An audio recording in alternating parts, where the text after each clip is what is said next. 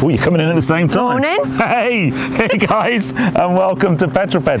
What were you going to do? Upstage me? I was, yeah. Look, look, I've got Philippa Forrester on the channel. Hello, mate. Hello, hello. Now then, we are here in the New Forest with a very noisy leaf blower in the background. but Not, that's okay. not electric. No, it's not That one. electric. But we're here, we're doing uh, some filming on a whole bunch of things today. Mm-hmm. But I'm doing a film for my channel. You're We've got a doing film for your glorious day today. not to uh, it's not raining. to review some cars together. Exactly. And compare some cars together. Have a couple of arguments about the benefits of certain types of vehicles. We wouldn't possibly argue. Mm. I will. But it's amazing. So we are both Hendy brand ambassadors. Yes. We met at a Hendy, um, the the big Hendy awards dinner last We year. might have been the only sober people there. Know, Are we allowed to say that? Because it was an evening of huge celebration. I know, and I've kind of you know been seeing you on the telly since you know for ages. Yeah. Um, but we want to do a video today because Philippa is a massive EV fan. Mm-hmm. And I'm a bit partial to a plug-in hybrid. So I thought we would do a plug-in hybrid versus battery electric, kind of robot wars without the radio control thing. Yeah, there's no remote controls here. No, I we'll be doing the do driving. realise Yeah. that bit. Also, I am, you know, disclaimer, not a petrol head like you. You mean you are, and I don't mean that in the sense that you love a combustion engine, but you are a car expert. Yes. I'm more of a environment and lifestyle and how can we make it fit our world expert, I like that. I guess. Should we get to it? That's how I'm approaching it. That's what she said. Let's find out exactly what that means when we get digging into the cars behind us. Now, one of the cars we've had borrowed from uh, Hendy, mm-hmm. which is yours, Kia Niro. EV, mm-hmm. and I borrowed one from Kia UK, mm-hmm. a Sportage plug-in hybrid. However, they are about the same price. Yes. Uh, so we are as much as possible trying to compare like for like. Yes. Why have you got the Sportage though? Should we go and find out over there? Yeah. Let's go. Fine.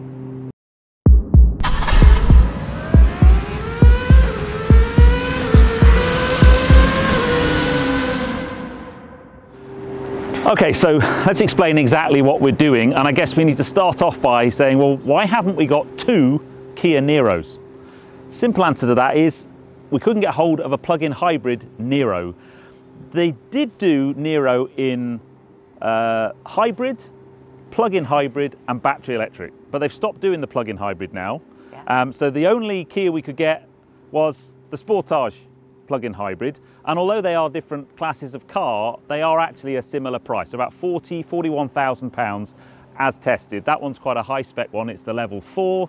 Heated steering wheel, all the important things. See, all the nice things. Yeah, yeah, yeah. so tell me about the Niro. I did drive the Niro on the press drives about, well, what, 18 months ago, I guess, but Well, it's a solid family car. You know, four and a half, five seats, uh, but depending how big they all are. Yep. Um, and it's got some nice aerodynamics. It's, it's a nice looking car. You know, it's got the vents, all of those things. Fruit and a boot, which you're not going to have. not a frunk and a trunk. fruit and a boot. And about 285 miles they claim as the range. Yes. Obviously, in the real world, it's not going to be quite that. No. But, and also that varies on time of year. We're just coming into the winter, so you'll start to see a bit of a dip. Yeah. So you are here as the EV evangelist. You love your EVs. You run a Mas- do. Mustang Mach-E as your Hendy Group long termer. I ran one for nine months. Absolutely loved it. But you do like an EV. I do. I love an EV because I've been on that journey now and come out the other side, and I can't see myself ever going back. Um, uh, you know, once you've done it, and now hopefully it's just getting easier and easier. You've got people like us around. There wasn't much in terms of information around when I started, when I came back from the States. Yeah. There's way more accessibility to public chargers um, in terms of just having them contactless now. Yeah. You know, you don't have to have an app necessarily to charge on a public charger. Things are changing so rapidly and so much for the better. Yeah.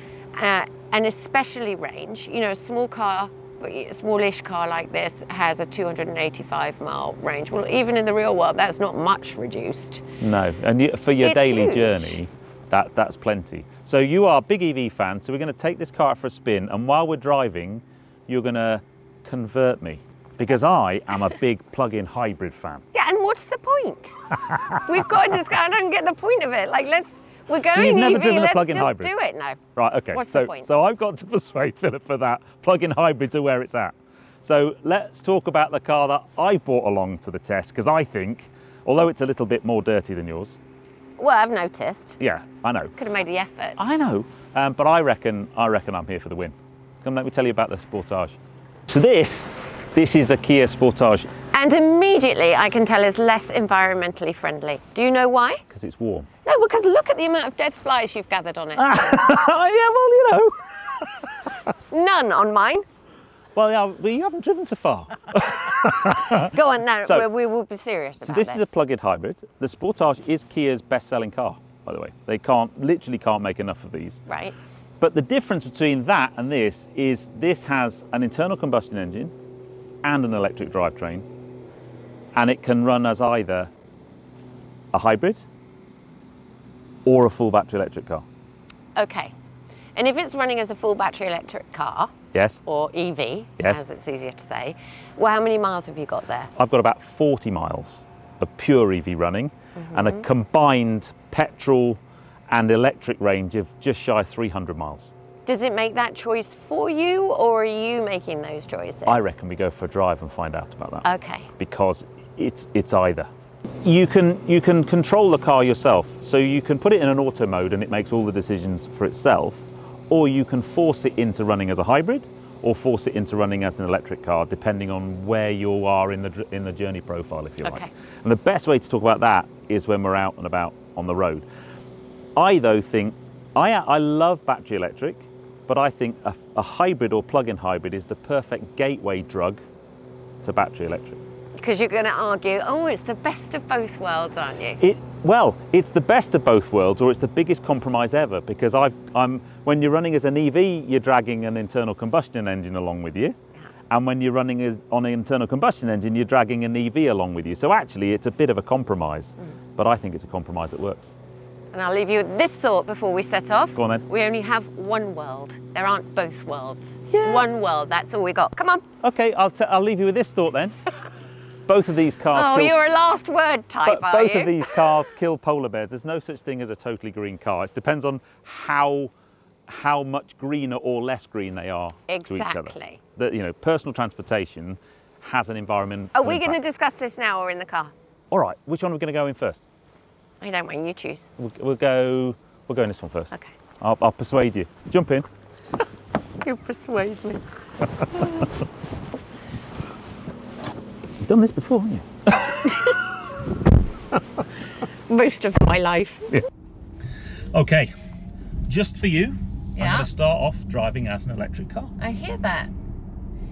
And you have decided that, right? Or has the car decided that? So th- you've got three options here. You you can this little drive selector here. Uh, you can I'm gonna that you can have it in automatic mode. The car will basically decide what it wants to do, or you can force it into running as a hybrid. So that will prioritise the petrol engine, and then use the electric drivetrain in creeping traffic and that kind of thing. Or you can run it as a pure EV, and that will force it into EV until the battery runs out. And h- how many miles would you have? Can you show me? 40 miles. So I'm now, if I just go that way, ooh, that other way, that way, 39 miles now 39 of pure miles. EV plus 200 miles of combustion engine running. So a combined 240 miles. And tell me then, do you have regenerative braking? Do you, there is one hill when I come to the very end Yeah. of a long journey near my house where I know I can make back two miles. so, um, yes, so you can see the little um, Watch out for the display. donkeys. Donkeys! Don't you love the f- New, Forest? Um, they Oh, don't care though. Look! Slow down, you You never idiot. get tired of them either. Um, so yeah, so uh, there's a little graphic that shows where the drive's coming from. So at the moment I'm coming from electric. If I back off, then you see the arrows will go back into the battery like that. So you you do recuperate some Oh, okay. kinetic energy, but what that doesn't translate to, like uh, a lot of EVs, like your Mustang, is the one pedal driving where you lift off the throttle and the car slows down oh, you don't have you that don't bit. really get that. I've not really driven a hybrid where um, it, it's so noticeable. You think, oh wow, the car's slowing down. So if I just lift off, even in electric mode, it slows down a bit. I'm, my foot's off the throttle, but it doesn't doesn't stop the car. I can feel. Yeah, I can feel. yeah, I so can feel the slow is probably more than it would be in a petrol car. though. Yes, yeah. Yeah. If you're in hybrid running, so if we now turn it into running as a hybrid, so now the engine's fired up, hmm now it's just coasting. There's no there's no slowing down at all. yeah. Okay, so so you do get a bit of that. For me, th- there's a couple of things. The, some people will look at this and go, "That's just a faff." You've got to work out when you want the car to do what you want the car to do. Well, that's fine. If you just push this until it says auto, the car will organise itself and do whatever it wants. The downside of doing that is it will prioritize electric drive and you will run that 40 miles of range down. Eventually, that battery will disappear and you won't have any electric running at all. So, when this car was delivered to me yesterday by Kia, the delivery driver had run it like that and it had no battery at all. And then you are driving a petrol car and you're carrying around an electric motor and a battery pack, and they tend not to be that efficient. Well, then talk to me. How long did it take to charge it back up? Because presumably, I mean, it's obviously a smaller battery. it's a tiny battery. Um, now this car uh, and most plug-in hybrids only do AC charging, so seven kilowatt or Granny maybe plug. Yeah, gran- well, no, granny plug is the three-pin one. Uh, wall box Ah, you've got at home. Right. Oh, yeah? okay. Okay. So, So, not right. but I'm on one with of you. those, hour and a half to two hours. Yeah. Um, on a granny plug, three-pin charger, maybe four hours. So the nice thing, if you have got a plug-in hybrid and you don't have a wall box at home, you could still live with a plug-in hybrid with just a three-pin granny charger. You couldn't say that about an electric car. I don't think you could live with an electric car. You know, on some of the bigger batteries, it's going to take you 30, 35 hours to, to charge the car up. A plug-in hybrid, you can get away with it just about. Yeah, and that's huge, um, particularly when you're travelling around. Yes. And I'm guessing that's the main advantage of these cars is longer journeys. Yes. Now, where if when you start to learn how to play with one of these, so the reason I love plug-in hybrids is they are the best of both worlds. Short journeys you're running as an EV, and you may never actually fire up the electric, uh, the, the petrol engine at all. When we ran, we've ran two plug-in hybrids now. I think we went four weeks without putting any fuel in it at all because you're just running locally Nice. which is really cool. But then when you want to go on a longer journey, you just put some petrol in it and off you go. Now, with this one, if I were to force it into hybrid running like it is now, Yeah. it now it will use the I mean it's using the electric motor now, but it will maintain that 40 miles of range. So even if we did the full 200 miles of petrol running, I'd get to the other end and I'd still have that full battery pack, and then I'd be able to run as an EV when I got there. So you can kind of hold on to the electric until you really need it. Yeah, you, you can manage your options. Yeah. Now there is there's a crazy quote for the efficiency of this car Yes. in terms of mileage. Yes. Um, what was it 200 and It's, it, it's high 200? 200s miles per gallon. yeah 280 something Yeah. Okay. miles per gallon? How is that even possible? You've only got 40 miles on your full battery. Why suddenly does the efficiency of the fuel consumption go haywire? Okay, In a good way, so- but is it true? Okay, so if we were running on EV only, I would be doing infinite miles to the gallon because I'm not using any petrol at all. yes. Yes. I am using energy, I'm using Yeah, electrons, but. I'm not so using you know, any. You can't do infinite petrol. miles No, you can't. So, um, per unit. I know, I love Um, so if um, so, I, I've done 70 miles today, and I'm averaging 37 and a half miles per gallon. Okay. Oh, well, that's so, far cry from is- 280 though. It is, but what happens is the the, the manufacturers use a standardized um, test procedure called WLTP that runs on a number of different drive cycles, and that calculates how much how much miles per gallon. And that number, whenever you see a quoted number for a, a plug-in hybrid, ignore it. It's a bit like range on an electric car. Ignore it. Well, no, not ignore it. It know won't be. It won't be, that number. It won't Yeah. be that number. So a plug-in hybrid, you're still going to get much better fuel economy. You're going to be getting 40, 50, 60 miles per the gallon. But so I'll give you an example. If we were just doing mainly city running, going to the school run, going to the shops, where you're using the electric motor a lot, your MPG is going to be really high. You could be getting 80, 90, 100 MPG in this car. As soon as you have to go on a longer journey and you start using the petrol engine some more, Yeah. like I did driving down here on the motorway, then that fuel economy is going to come down a lot. Um, and if you run out of battery altogether, then the fuel economy is going to be really poor. Yes, but and of course, you know that's the other thing, isn't it? It's that range anxiety that people have that is so well associated with EVs. Yeah. That in one way, culturally, I think it's going to be hard to shift. That's probably, would you say, in talking to all the people that you have, from my experience, that's probably the biggest barrier. it is the biggest barrier. It's range anxiety and charge anxiety. It's it's knowing that i'm going to run out of electricity. I need to charge. Am i going to find a charger that's free that's working that's part of the network i belong to? That's the problem and, and it is getting so much better. Um, but the thing with a plug-in hybrid you kind of don't have to worry about that. The downside is it is a compromised vehicle because you're you're it's the best of both worlds. It's neither a great ev nor a great petrol engine car but it's a great gateway drug into the world of ev running especially for people who live in an urban environment where they've got lots of short runs because most of the time you're running as an ev and there are evs you can buy now. Um, I was went to the launch of the new Tiguan, VW Tiguan, and that does 60 miles pure EV running, and it does rapid charging, DC charging. So they are they are starting to get better and better and better. Right. The, the last thing about plugins that uh, and hybrids are really good for people, if if you don't have dedicated charging at home or you can't because you live in an apartment or something, these are a great way to deal with that because you don't have to worry about charging up every night. You can. The the, the hint is in the name, plug-in hybrid. Mhm. Plug them in, and they work better. Don't plug them in, and they there's no point having them. hmm Let's go for a drive in your EV, and you can tell me all about why you love it. Okay.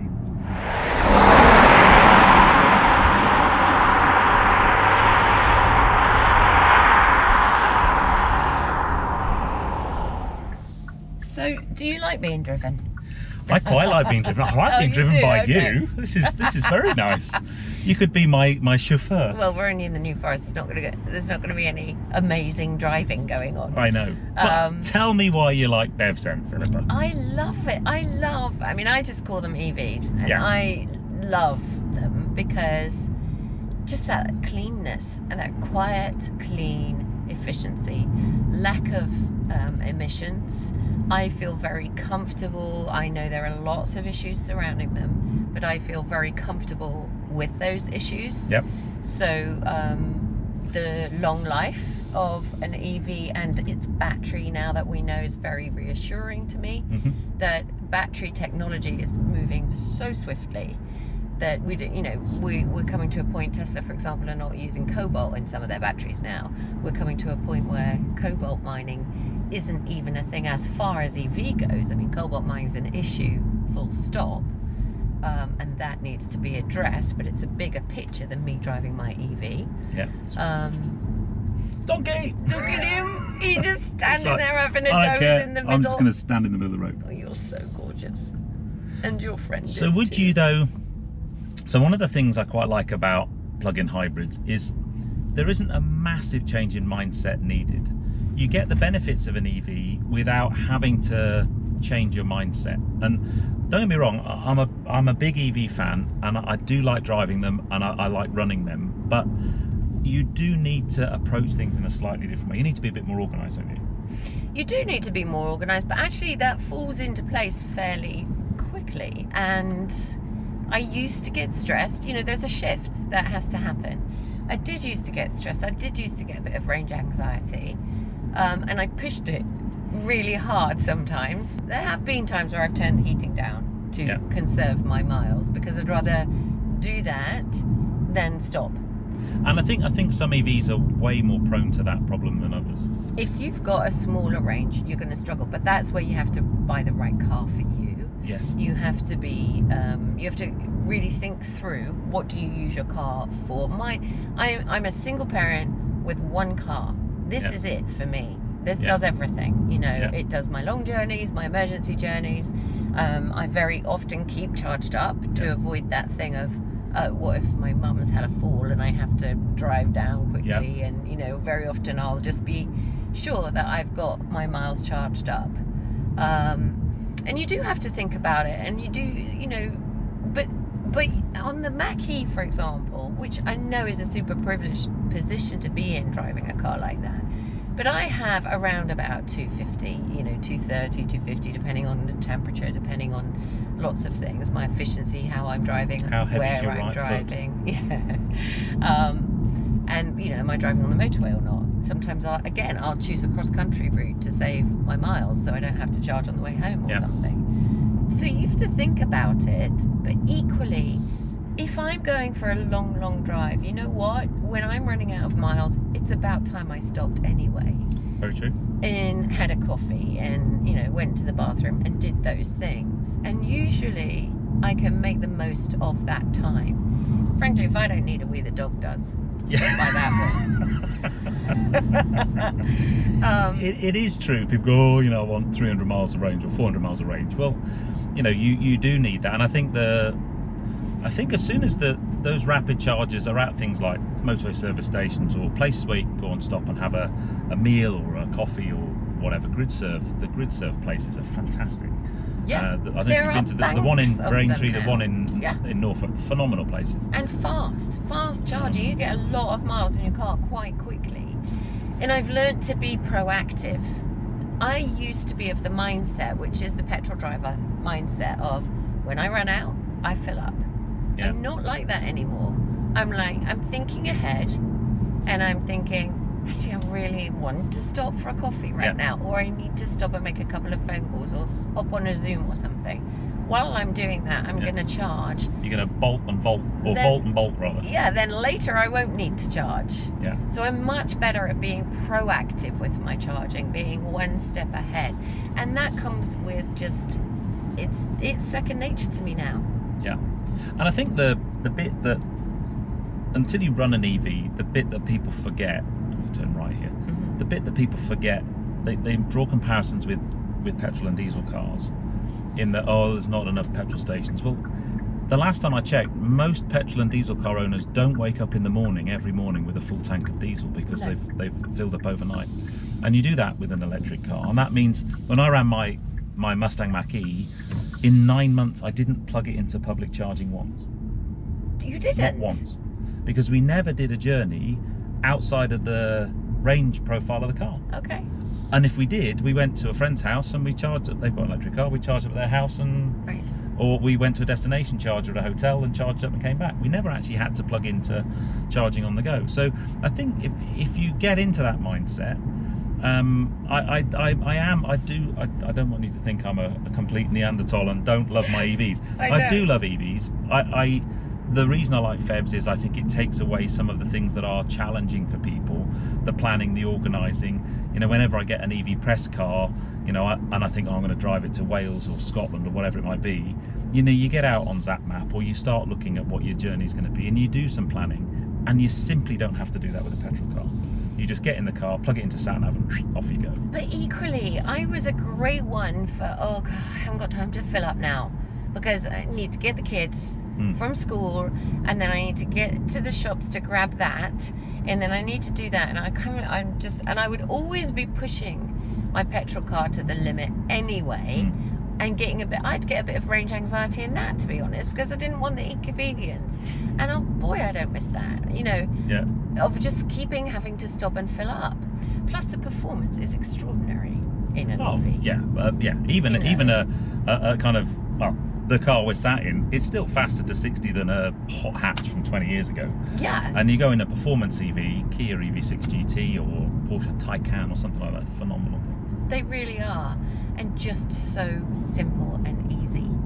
Um, and I, You're kind of persuading me. Yeah, for You're kind of persuading me. The inconvenience of having to plan a charge on a long journey is far outweighed by all of the other stuff. You Yeah. know, and and primarily that lifetime of the EV and its battery. You know, now batteries are sometimes outliving the car and then being recycled. And over over its lifetime, you know, an EV is three times um, more sustainable in terms of climate friendly um, and, and less carbon produced than an ICE vehicle. So for me, it's a no brainer. We're all going to have to do it at some point. Let's just do it as quickly as we can. I'll, I'll, you're, you're, you're persuading me. Okay, but to be also with my journalistic head on, there is a there is a massive con, and that at the moment is price, Oh, they're and and that's prohibitive to most people who Yeah. want to explore this new terrain. yeah, and I think the second-hand values are coming down, but it, is a, it is a big challenge for mass adoption for sure. Yeah. Absolutely for sure. Well, I reckon that's a good way to finish this video. Guys, put Yeah, in the comments below what you think. I reckon Philip Philippus get she I didn't need to persuade me massively because I do like my EVs, but you are clearly a passionate advocate of an EV. and that's because I've done it now for Yeah. ages. yeah. You know, and because I really do care passionately about what we're doing to the natural world. Now I'm going to put Philippa's details below. Make sure you follow her on social media And I'm going to keep my eyes on the road. and you keep your eyes on the road. But guys, if you enjoyed that, give me a thumbs up. Comments below are always welcome. And if you haven't done so already, please subscribe to Petrol Ped for plenty more content to come. And subscribe to this legend as well. And I'll see you on the next video. Legend. Legend. you take care, guys. Drive safe.